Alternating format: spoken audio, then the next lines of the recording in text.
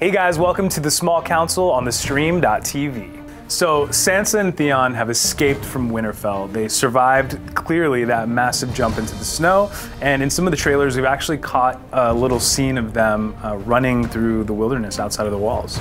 Yeah, so it's really now how are they going to get out of there and where are they going to end up? And there's a lot of people looking, especially for Sansa.